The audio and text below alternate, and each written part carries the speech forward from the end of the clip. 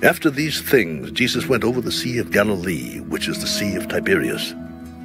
Then a great multitude followed him, because they saw his signs which he performed on those who were diseased.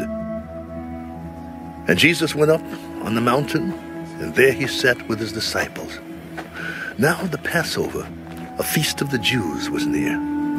Then Jesus lifted up his eyes, and seeing a great multitude coming toward him, he said to Philip, Where shall we buy bread that these may eat? But this he said to test him, for he himself knew what he would do. Two hundred denarii worth of bread is not sufficient for them, that every one of them may have a little. One of his disciples, Andrew, Simon Peter's brother, said to him, There is a lad here who has five barley loaves and two small fish, but what are they among so many? Make the people sit down. Now there was much grass in the place, so the men sat down in number about five thousand. And Jesus took the loaves, and when he had given thanks, he distributed them to the disciples, and the disciples to those sitting down, and likewise of the fish as much as they wanted. So when they were filled, he said to his disciples, Gather up the fragments that remain, so that nothing is lost. Therefore they gathered them up and filled twelve baskets with the fragments of the five barley loaves which were left over by those who had eaten. Then those men, when they had seen the sign that Jesus did, said, This is truly the prophet who is to come into the world. Therefore, when Jesus perceived that they were about to come and take him by force to make him king, he departed again to the mountain by himself alone.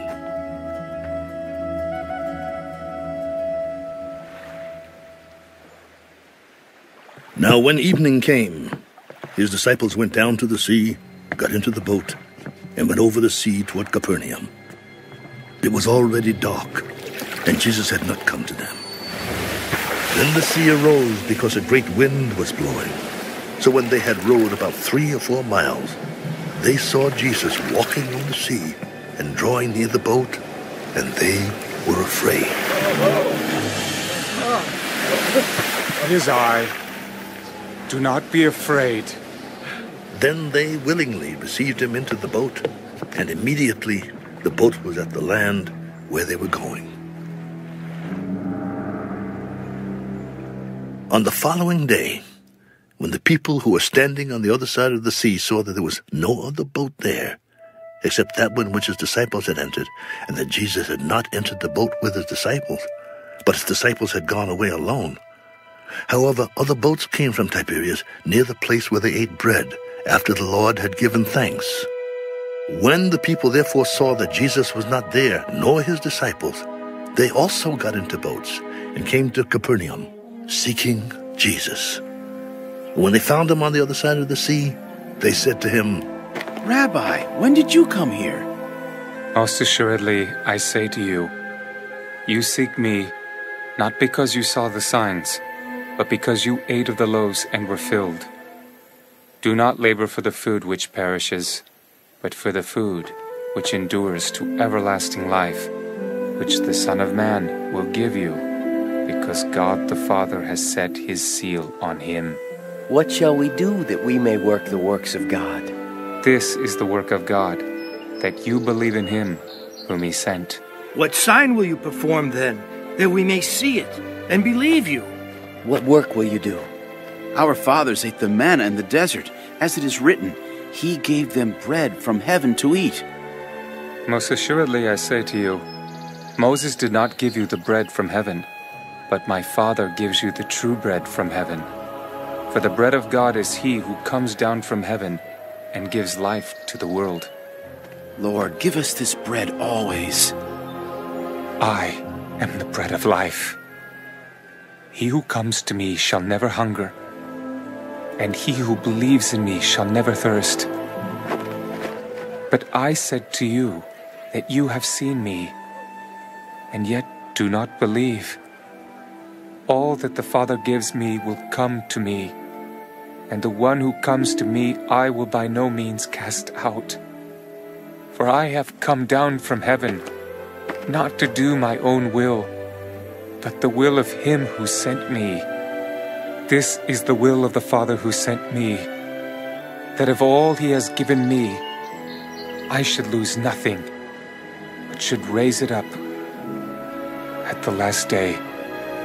And this is the will of him who sent me, that everyone who sees the Son and believes in him may have everlasting life, and I will raise him up at the last day.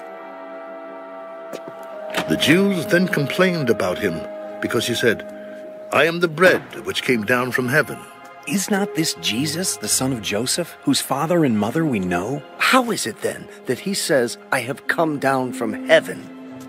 Jesus therefore answered, Do not murmur among yourselves. No one can come to me unless the Father who sent me draws him, and I will raise him up at the last day. It is written in the prophets, and they shall all be taught by God. Therefore, everyone who has heard and learned from the Father comes to me. Not that anyone has seen the Father except he who is from God. He has seen the Father. Most assuredly, I say to you, he who believes in me has everlasting life. I am the bread of life. Your fathers ate the manna in the wilderness and are dead. This is the bread which comes down from heaven, that one may eat of it and not die. I am the living bread which came down from heaven.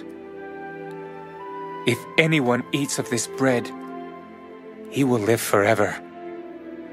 And the bread that I shall give is my flesh, which I shall give for the life of the world. The Jews therefore quarreled among themselves. How can this man give us his flesh to eat? Most assuredly, I say to you, unless you eat the flesh of the Son of Man and drink his blood, you have no life in you. Whoever eats my flesh and drinks my blood has eternal life, and I will raise him up at the last day. For my flesh is food indeed, and my blood is drink indeed. He who eats my flesh and drinks my blood abides in me, and I in him. As the living Father sent me, and I live because of the Father, so he who feeds on me will live because of me. This is the bread which came down from heaven, not as your fathers ate the manna and are dead. He who eats this bread will live forever. These things he said in the synagogue as he taught in Capernaum. Therefore, many of his disciples, when they heard this, said, This is a hard saying. Who can understand it? When Jesus knew in himself that his disciples complained about this, he said to them, Does this offend you? What then if you should see the Son of Man ascend where he was before? It is the Spirit who gives life. The flesh profits nothing. The words that I speak to you are spirit, and they are life. But there are some of you who do not believe. For Jesus knew from the beginning who they were who did not believe and who would betray him. Therefore I have said to you that no one can come to me unless it has been granted to him by my Father. From that time, many of his disciples went back and walked with him no more. Then Jesus said to the twelve, Do you also want to go away? But Simon Peter answered him, Lord, to whom shall we go? You have the words of eternal life. Also, we have come to believe and know that you are the Christ, the Son of the living God. Did I not choose you, the twelve, and one of you is the devil? He spoke of Judas Iscariot, the son of Simon, for it was he who would betray him, being one of the twelve.